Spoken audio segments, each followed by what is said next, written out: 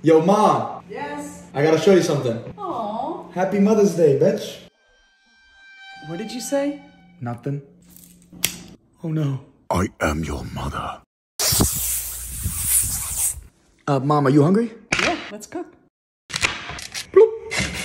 Clean the beets. Drop the beat. Okay.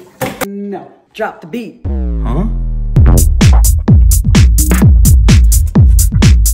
You guys might not believe this. Having two sisters, his first word was Barbie. My first word was Barbie. One beet, some pasta water, Parmesan, whoop, a little bit of salt, some pepper, walnuts, olive oil. and Yeah. Oh my god, look at this. Add the sauce. voila. Buon appetito, bitch.